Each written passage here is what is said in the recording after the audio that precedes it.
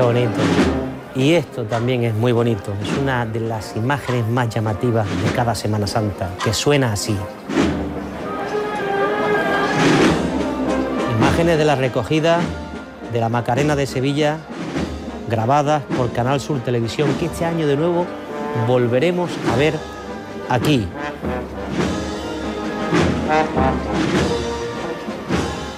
¿Y cómo se prepara este año la Macarena para la procesión? Es lo que vamos a ver a continuación en directo con nuestra compañera Reyes, que se encuentra allí, en su sede oficial. Reyes, buenas tardes.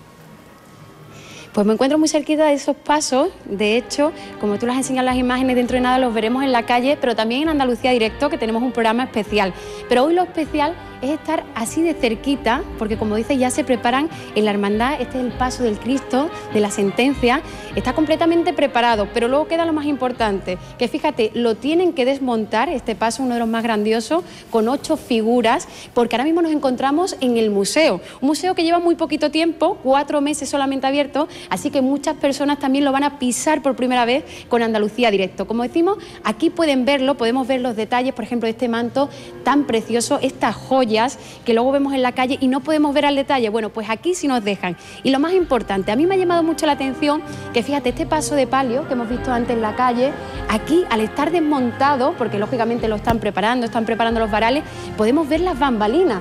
Algo que después a la vista claro, se escapa. Yo decía, qué maravilla poder ver todos los detalles. Yo tengo al prioste pues acribilladito a preguntas, ¿y esto qué es? Y esto, como seguramente todos los espectadores de Andalucía Directo, porque son detalles que se escapan. Y él me contaba que esta bambalina, por ejemplo, es una bambalina valiente. A mí me ha encantado como la ha llamado, porque en su momento, bueno, este sustituye a otro más antiguo, rompió. La Macarena rompió en color, en forma.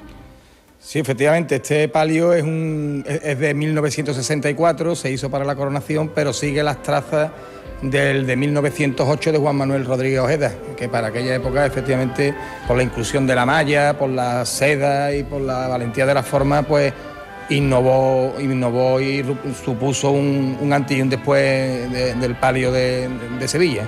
Desde luego es una joya, lo estamos viendo al detalle, pero también la Semana Santa sabemos que son sentimientos y sensaciones. Y yo me he puesto un reto modesto. Fíjate, muchos hermanos desearían ser costaleros de este paso. Bueno, pues hoy vamos a dar el privilegio, si te parece bien, nuestra cámara se va a convertir en ese deseo, en un costalero que se puede meter debajo del paso. Fíjate qué sensaciones.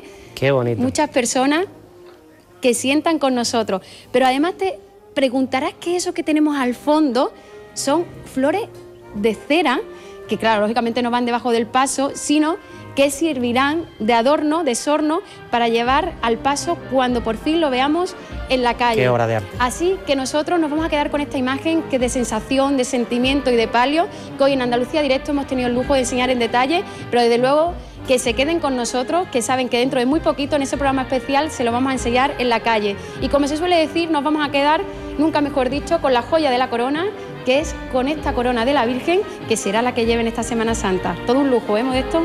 Todo un lujo, sí señor, el de la Semana Santa de nuestra tierra.